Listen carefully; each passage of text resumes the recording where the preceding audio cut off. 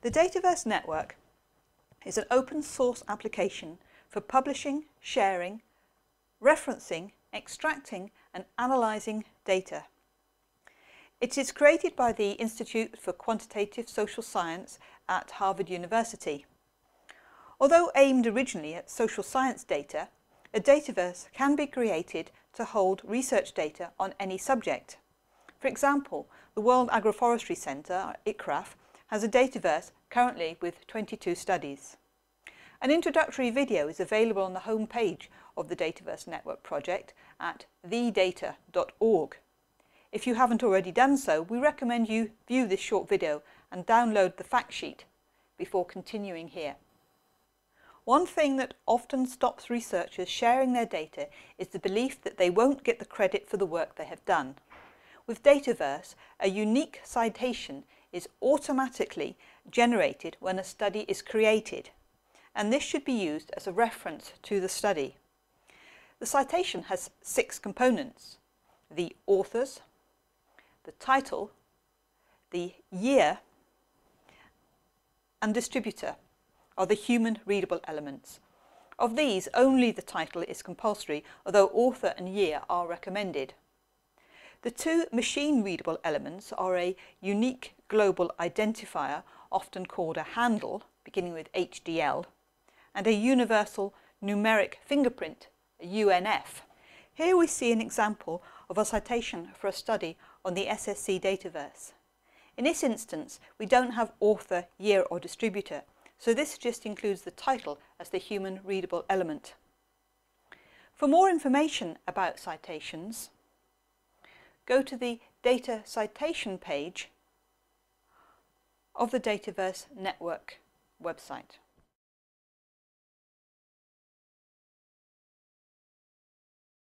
There are two options for hosting your Dataverse. The easiest is to have your Dataverse hosted at Harvard. This is a free service to all researchers. The infrastructure at Harvard is very good and great support is available to help you set up your Dataverse. You can also include your own branding in the header, including working links, so that your Dataverse has the look and feel of your own website. For example, the Statistical Services Centre Dataverse has live links to, in the header section, taking you to the SSC website. The other option is self-hosting, and you can download and install the relevant software.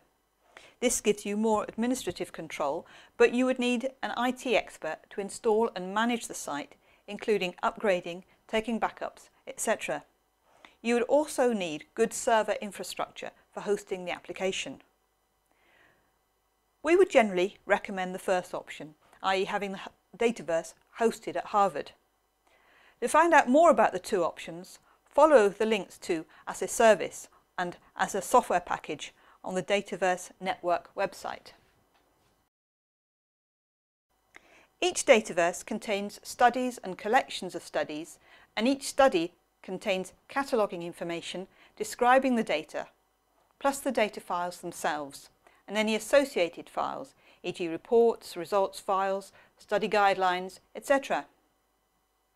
Collections are optional you can have all your studies at the same level in your Dataverse. This is fine if you have just a few studies, but as more and more studies are added, you may find it useful to divide them into collections. Think of this in terms of how you might divide your files into folders on your PC. In the SSC Dataverse, there are five studies. One is the Targeted Input Programme, and the others are for Starter Pack Evaluation Programme. Within the Starter Pack, there are three modules, so we have the top level, which we've made the collection, which contains the three modules. Our archive files on our local drive reflects this structure with a top level folder for Starter Pack 2 and three subfolders for the modules. When a study is released, the default is for public access, but you can choose to restrict the entire study giving access to named individuals only, or you can restrict individual files within a study, even if the study itself has public access. For example, on the ICRAF Dataverse, there are some studies that are restricted as indicated by the padlock symbol. On the CCAFS Dataverse, the baseline household survey study is public access, but the data files are restricted. Dataverse is primarily an archiving facility. However, you can create a Dataverse and start creating studies early on in your project, gradually building the archive as each stage of the project is completed. Studies are only made public once they are released, so you can continue building your archive until you are ready to release it. If you have a data and document store for your project files, then creating your archive should be relatively straightforward as you can keep the same structure. This video is just a brief introduction to the concept. Later videos will show how to start creating your Dataverse.